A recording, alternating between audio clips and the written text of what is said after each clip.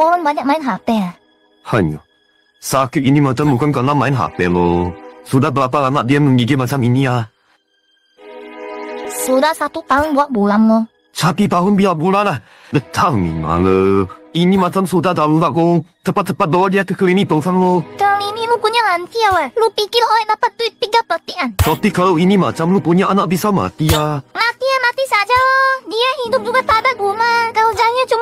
Legends. Pusreng, pusreng, kus dia punya lancio lah. Mending lu olah. Sekarang bantu gue cari peti mati yang murah saja loh.